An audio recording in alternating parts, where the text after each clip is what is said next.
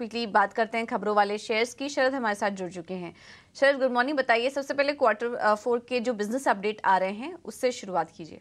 जी बिल्कुल quarter four की updates में जो है बजाज फाइनेंस फोकस में रहेगा और जो ऑपरेशनल अपडेट आए हैं, बहुत स्ट्रॉन्ग आए हैं। कस्टमर फ्रेंचाइजी ले लीजिए, यहाँ पे एक अच्छी ग्रोथ आई है ईयर ऑन ईयर बेसिस पे। वही नए लोन जो देखे तो यहाँ पे भी जो है लगभग चार परसेंट का ग्रोथ आया है और ए यू एम देखे, ये बढ़ गया है थर्टी फोर परसेंट पे। तो ओवरऑल जो है strong set of operational numbers आए। वही इंडस इंड बैंक के कहेंगे तो लार्जली इनलाइन आए हैं, उतना भी स्ट्रॉन्ग नहीं आया है। यहाँ पे नेट एडवांसेस और डिपॉजिट्स तो दस परसेंट के ऊपर दोनों साइड गए हैं ईयर ऑन ईयर बेसिस पे हालाँकि जो उनकी कासा नंबर्स है, वहाँ पे थोड़ी सी डिटोरिएशन ज़रूर आई है सिक्वेंशियल बेसिस पे। बंधन बैंक के लेकिन देखें तो ऑपरेशनल नतीजे बहुत स्ट्रॉन्ग आए हैं।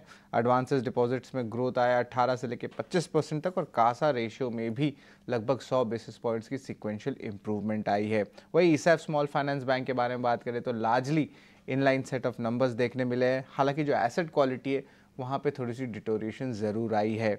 अब बात करेंगे आवाज़ फाइनेंसिस की तो यहाँ पे अच्छे नतीजे देखने मिले हैं स्ट्रॉन्ग सेट ऑफ़ नंबर्स हैं। ए में 22 परसेंट का ग्रोथ है और डिसबर्समेंट में भी लगभग 40 परसेंट का सिक्वेंशियल ग्रोथ देखने मिला है। आखिर में शोभा के बारे में बात करेंगे, जहाँ पे largely inline set of numbers देखने मिले हैं। सेल्स ऑलमोस्ट सपाट रहा है, तीन percent year on year basis पे। हालाँकि रियलाइजेशन उसमें जो है एक अच्छी इंप्रूवमेंट देखने मिली है। तो ये आपके क्यू फोर अपडेट्स है, जो आज दिन के ट्रेड में फोकस में रहेंगे।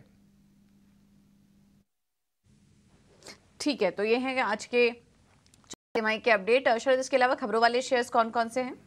जी बिल्कुल खबरों वाले शेयर्स में फोकस करेंगे तो सबसे पहले प्रेस्टीज एस्टेट प्रोजेक्ट्स आता है। यहाँ पे उन्होंने एक इंपॉर्टेंट एक्विजिशन बैंगलोर के लैंड में की है। साढ़े चार सौ करोड़ का इन्वेस्टमेंट है, लेकिन वो एक्सपेक्ट कर रहे हैं कि जो ग्रॉस डेवलपमेंट वैल्यू आएगा इस रेसिडेंशियल प्रोजेक्ट का, वो चार हज़ार पाँच सौ करोड़ हो सकता है। हीरो मोटो कॉप भी फोकस में रहेगा। यहाँ पे थोड़ी सी नेगेटिव डेवलपमेंट आई है। टैक्स डिमांड नोटिस आया है, इनको 605 करोड़ रुपए का। तो स्टॉक में जो है, थोड़ी सी जो है सेलिंग प्रेशर भी आ सकती है। अवंती फीड्स फोकस में रहेगा। कल ऑलरेडी हमने वॉल्यूम्स प्राइस में भी जंप देख लिया था। कंपनी अनाउंस की है कि जो ट्रायल प्रोडक्शन है, उनके नई श्रिम्प प्लांट आंध्र प्रदेश की, वो शुरू हो गई है मार्च में। तो यहाँ पे ज़रूर स्टॉक को फोकस में आज भी रखेंगे।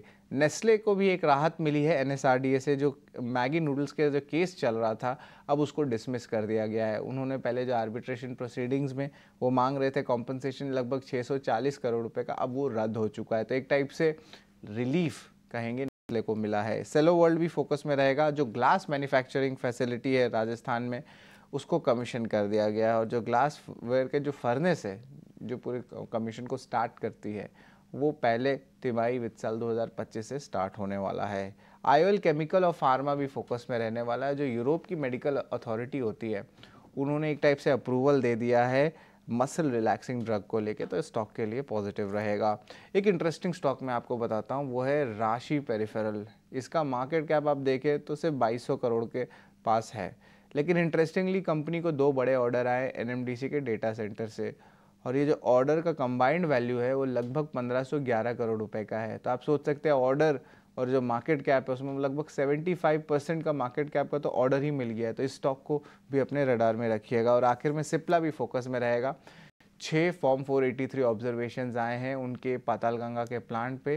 थोड़ी नेगेटिव ज़रूर है, लेकिन उतनी भी नेगेटिव नहीं है, क्योंकि ये प्लांट से कम से कम आप कह सकते हैं सिर्फ़ पाँच परसेंट तक का ही रेवेन्यू कंट्रीब्यूशन आता है तो ये अमाउंट जो है तो ऑफकोर्स थोड़ा छोटा है बट नेवर द लेस एक नेगेटिव डेवलपमेंट ज़रूर है। तो ये सारे स्टॉक्स है जो आपके आज रडार में होने चाहिए, यहाँ पे हलचल देखने मिल सकती है। बिल्कुल बहुत बहुत शुक्रिया शरद आपका पूरा एनालिसिस करने के लिए सारी खबरों का। तो ये कुछ स्टॉक्स हैं जिन्हें आप अपनी रडार पर रखिए। सिप्ला राशि पेरी फेरल्स जैसे स्टॉक्स आज फोकस